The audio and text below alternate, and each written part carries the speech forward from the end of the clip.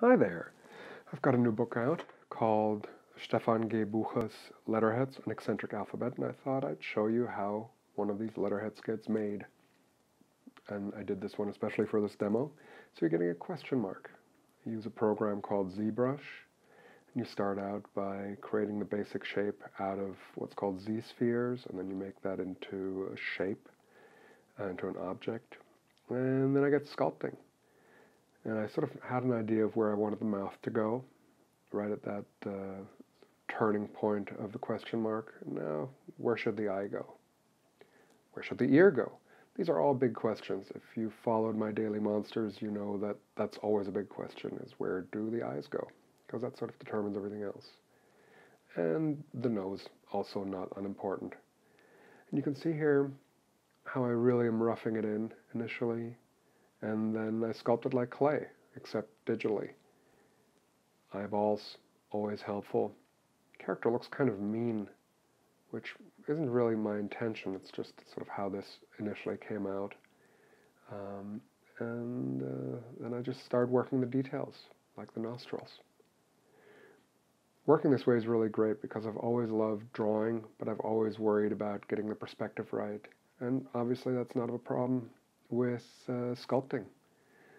Perspective's always going to be right on, on a sculpture, especially if you have a little bit of digital help that keeps everything symmetrical automatically. Lots of work on the eyes.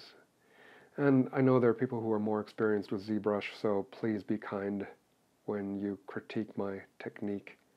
Um, I'm really just trying to get to interesting characters, and I'm still studying how to use the tool most efficiently. But you can see it's a, it's a really great way of working.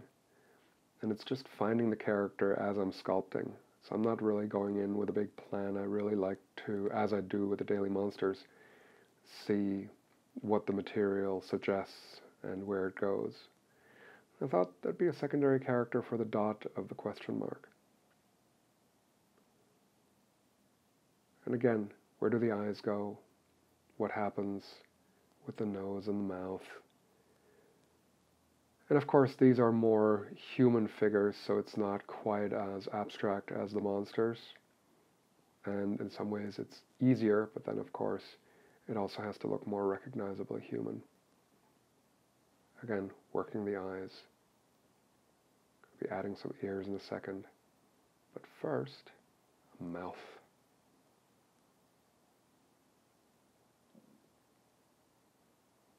The detail work is really the most fun part of this because it's just so satisfying to carve wrinkles into clay faces.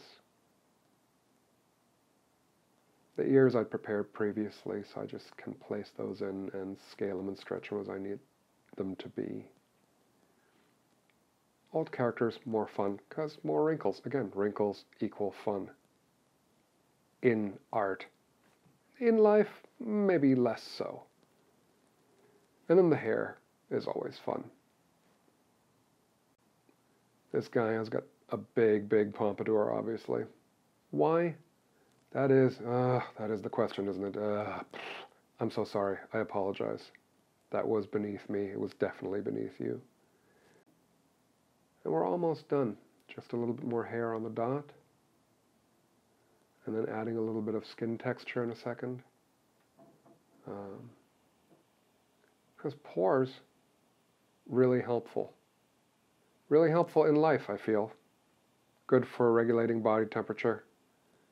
Gives you a naturalistic look. Makes you look not like a CG character. Makes you look more like a person. A little bit of screwing around with the mouth. A little bit of a thinner chin. You know, and lastly, a little bit of detail work on the eyebrows there still. And then I'm going to start picking, well, yes, yes, raise that eyebrow. Must raise eyebrow, always a good thing. He looks so stern. Such a skeptic, that question mark. As, as one would expect, I suppose. But the dot, the dot is where all the humor is. And then for good measure, add a little background color, and make it spin around So all of these techniques I use to create a whole alphabet called the letterheads. And the book again is Stefan G. Bucher's Letterheads, an eccentric alphabet, which you can order, and I hope you will order uh, on your local online bookstore website, or buy it even better at your local independent bookstore. And I hope you'll enjoy it. It's got the it's got the entire alphabet because I'm all about value, A to Z, all of them. Thank you for checking out this promo demo.